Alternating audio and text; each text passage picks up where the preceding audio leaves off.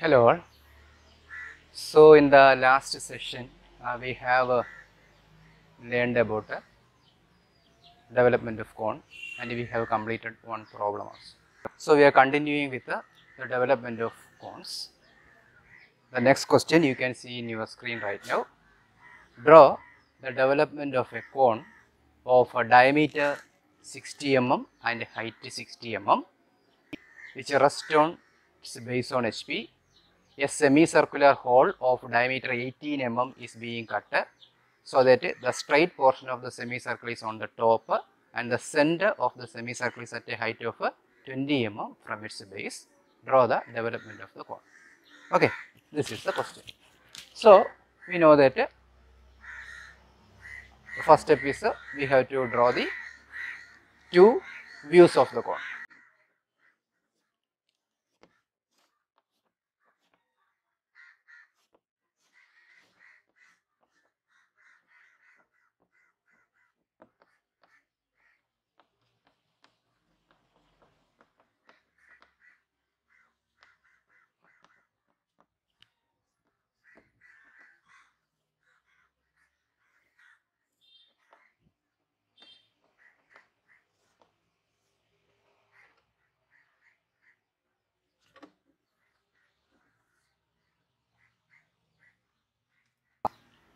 So, the views were completed and a semicircular hole of radius 18 mm is being cut so that the straight portion of the semicircle is on the top, okay, is on the top and the center is at a height of 20 mm from its base. So, a semicircular hole with its straight portion is on the top means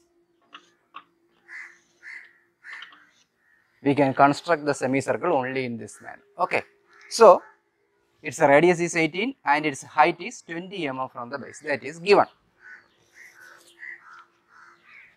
So, at a height of 20 from here draw a semicircle of radius 18 mm. So, it will be coming like this. Now, the next step you all know locate the intersection points 1 dash 2 dash 3 dash, 4 dash, 5 dash and 6 dash. It has been seen that the two points are not touching any generators, it is lying between two generators. So, name those points as that we can do later. Now, we have to calculate theta,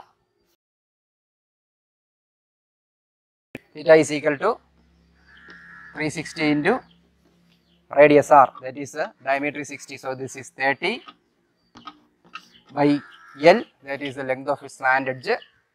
On measuring that value you will get 65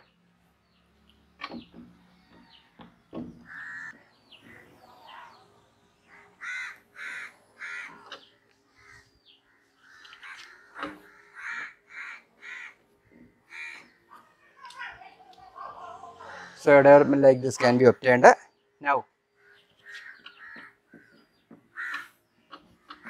divide this also into 8 equal parts. Yesterday I told take the protractor, divide this value into 8 equal uh, 8, uh, divide this value by 8 and locate those points using a protractor.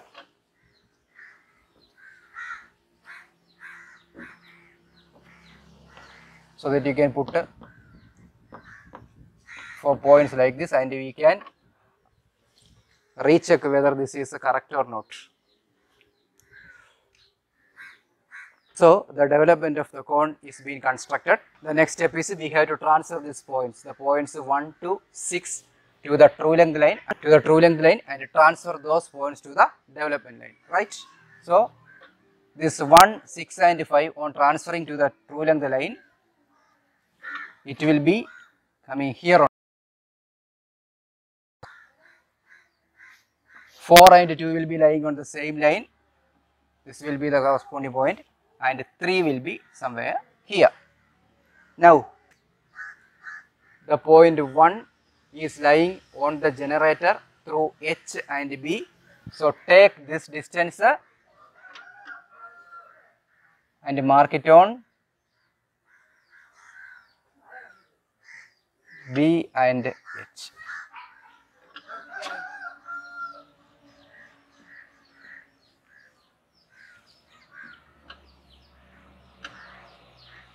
Six and five is also lying at the same distance. Six and five is also lying on the same distance. So mark that points on the corresponding generators. That is through C, through G, through F, and through D.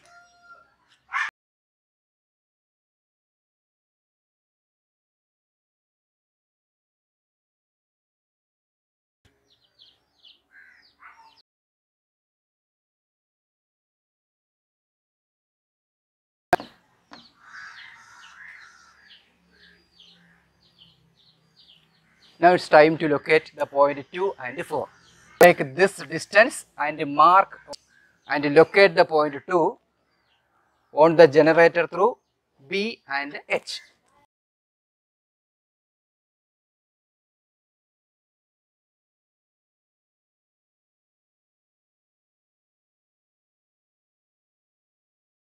Similarly, locate 4 on the generator through F and D on the generator through F and D.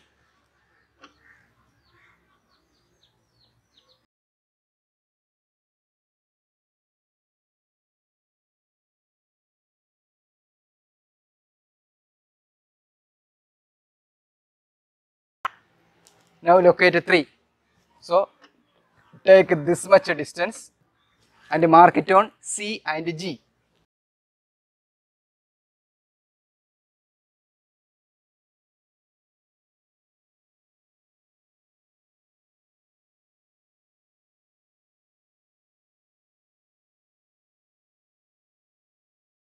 Now connect all these points.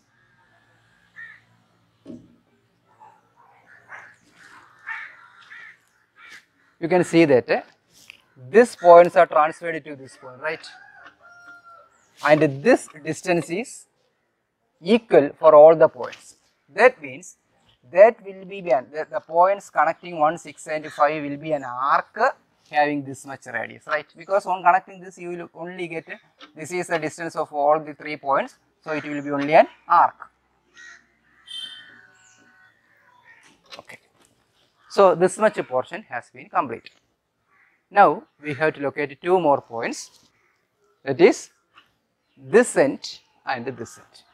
So the step is name this point as 7 dash and this as 8 dash. This is 7 dash and 8 dash.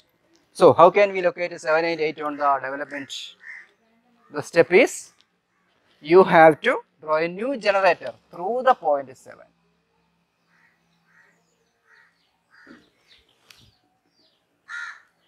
And another generator through the point 8 so that you have obtained two points on the base transfer that point or draw vertical lines through that points so that you will get a two new intersections at the base in the top view. We have done this the same thing in the case of a pyramid right?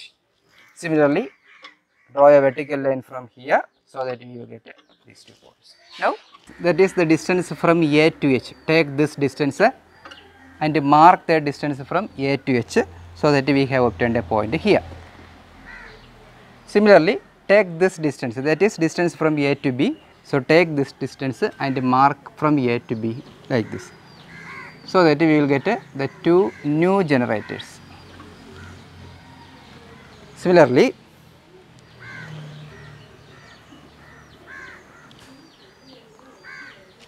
take this distance that is distance from E to F mark from here like this so that we will get a new point here. Similarly, take this distance that is from E to D another so that so that we have obtained the two new generators right.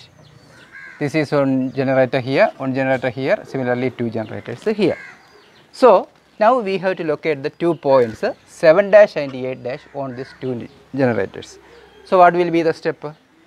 transfer this uh, 8 and 7 to the true length line take that distance and mark on the corresponding generator right? We know that since 5 6 1 and 7 and 8 are lying on the same line that will be an arc. So, take that distance means that distance will be this only. So, this distance take this distance and mark it here. Mark it here mark here mark here.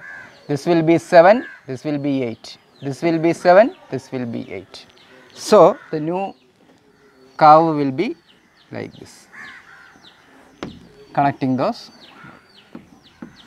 Okay. So we have obtained the development of the hole. This is the development of the hole.